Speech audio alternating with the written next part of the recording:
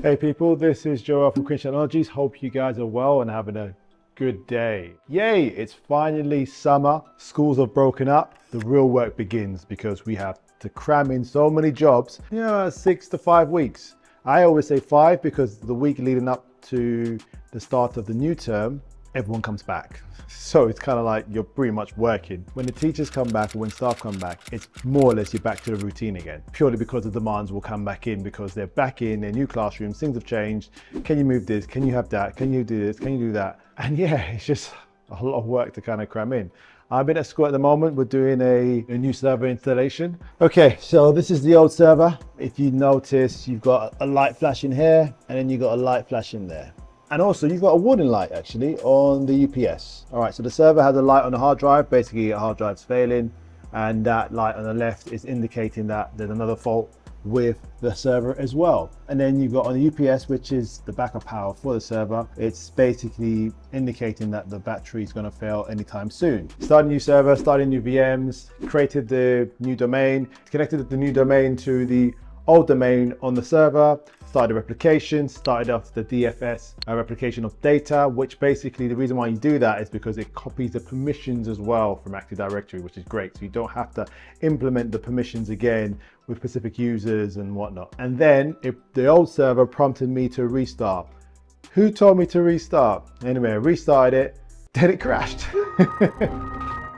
So that put delays on because I had to use the backups to restore it. Now I'm hoping the backups work. It should do, fingers crossed. I mean, this was a school that I recently took over. I was using their existing backup system. I did test it and it was working, but we'll see. I've done now a whole volume drive backup basically. And that's kind of different from doing like a just restoring one single file. I need that backup to work to start the whole process again and make the replication and the copying of Active Directory a lot more smoother instead of me starting from scratch. Fingers crossed that's done, so I'm testing that now.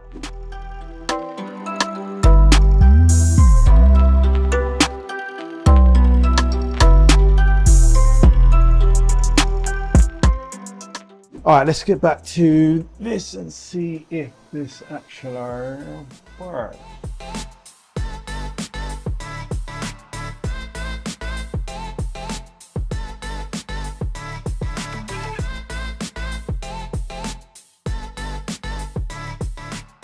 Now I unplugged the recovery uh, USB stick, this one, which I created on the Veeam software think it just goes straight in. So yeah, this is kind of like the moment of truth to see if the backups did work.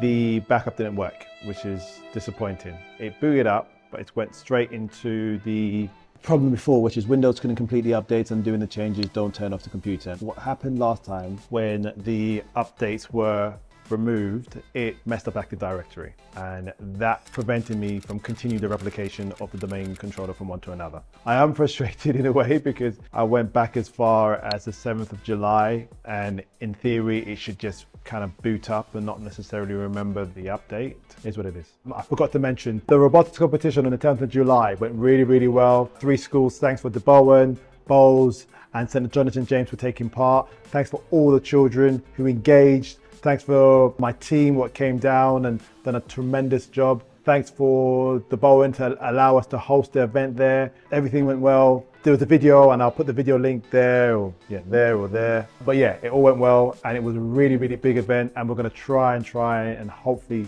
next year do it again and we're going to hopefully have more schools you know we'll record the whole event again but yeah it was real fun it was real good okay so they've got this built-in software called canon universal logon manager. And as you can see, you have to enter in a username and password. So this is basically like a print and release job. Staff members will print a job, it will hold it, they will approach the photocopy machine, type in their username and password, and then they'll see the job. Now, the communication between the new server and the photocopy machines is working great. So they can authenticate, as in the same username and password what they've used to log on to the PCs. Okay, cool. So there you can see log in. So we're just gonna quickly open up my folders, desktop. Okay, don't like that, don't understand. See this little green icon here? These green ones, I don't know if you can see it like that, there, there.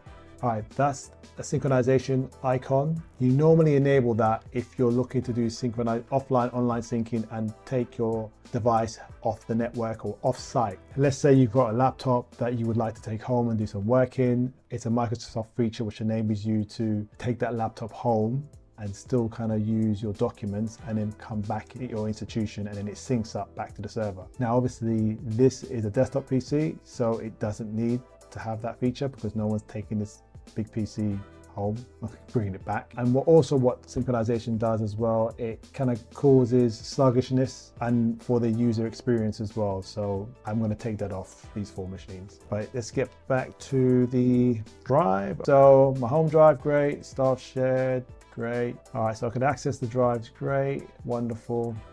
Don't really I don't have any documentation so I didn't expect to see anything there. And we're just going to check if I can see the icons. Yep I can see one two three four. Great. All right so the old one which is this one here. All right so it prompts up with my name. Now this Previously, on the old system, it didn't prompt with the name. It didn't prompt for the user to enter in a PIN. It just automatically went to the printer, the photocopy machine, without the user entering a PIN number. And then you use your login credentials, as you, you saw me did for, my, for this computer, same login credentials to log into the photocopy machine and receive the job. This is the problem I'm having because when I enable a thing called secure print, there we go.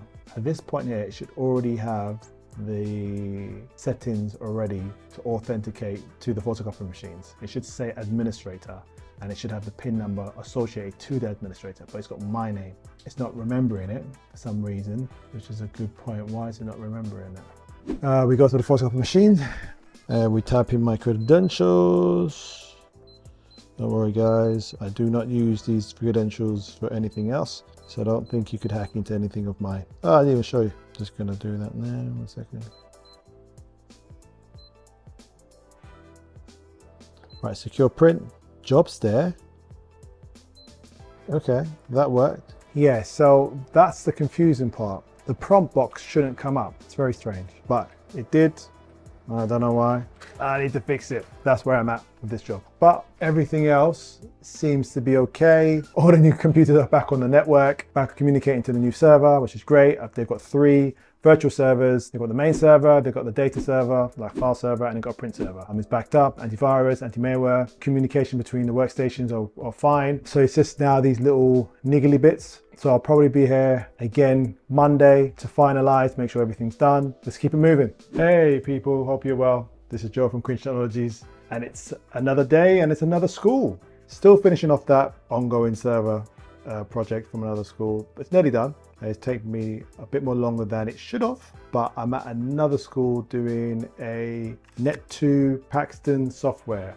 Sometimes I do this every now and again, help out of school and help out um, a fellow engineer when they have problems. So I'll show you what I'm doing. So I'm backing up the database. So the Net2 Paxton software, what is that? That is a software which controls doors, gates, I think that's it. So it's like a fob entry system, like so. It's my keys, like fob like that. You should be able to, it allows you to fob in, fob out, then should give you a fob, there we go. See, so you got this fob entry system and yeah that's red because my fob doesn't work but and then it will release the doors so I'm basically moving the software from one computer to another so currently I am backing up the database on a memory stick and then I'm going to put the software on a new machine that's when the fun starts okay let's keep it moving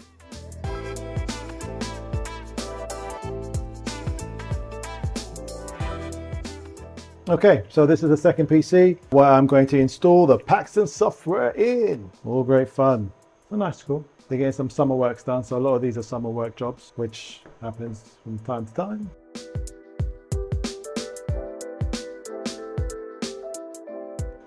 Show you guys another cabinet, spaghetti junction. Wow.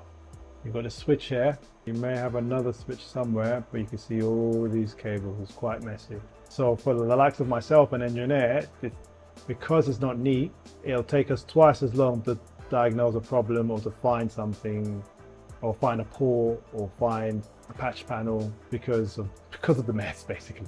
Anyway, back to the software. So the software basically locates the doors and the gates. This is a newer software, so what it's going to do currently is going to update the doors and software, sorry, the doors and the gates to the latest firmware. Now, the problem with that is that sometimes with these old panels, because the doors are connected to like a panel, when you do a firmware update, it may not work. And then you may have to depower the panel, put the panel back on, and then install the software again, which is a pain in the bum. But fingers crossed, it could roll out and it'll work smoothly. Should do. Let's install. Gonna append. Might do all in one, so what I reckon it'll probably do is fail and then I might have to do one at a time. I'm doing this for three schools. This is the second school I'm at at the moment, and then I need to do the same thing on another school. So I've just finished doing the install of the Net2 Paxton software. It's now doing firmware updates on the controllers, which is the crucial part because you have to allow the controllers to update and it may re-update again and again and again and that is the look see it's pending pending update pending update pending and the reason why it did that is because it had a previous version of the Paxton software. Now they've got an up-to-date version of the Paxton software. So that means it has to now update the control panels of the doors to communicate with the software. So this is going to take a little while. See you guys in the next one. Now that I've removed the software to another machine, I'm now going to install the client software on the original machine it was in the first place. I think that's one way to do need to double check. All right, so everything's done pretty much. I'm just waiting for the firmware to update on all the panels and um, that's it. On to the next school. All right, peace.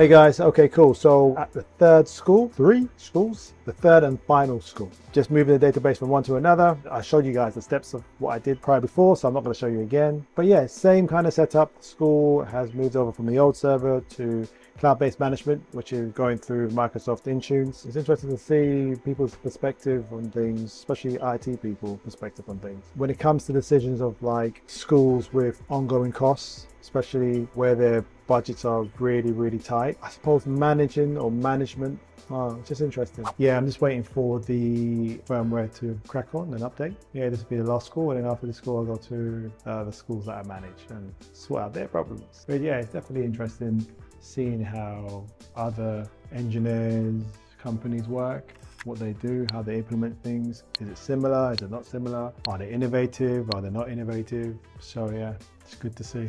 Okay, so what they've done here, what they've been doing is taking away the old machines, so which were, yeah. So I think for me, I think what they're doing now is giving them all laptops. Yeah, they just connect with the interactive whiteboard, smart one.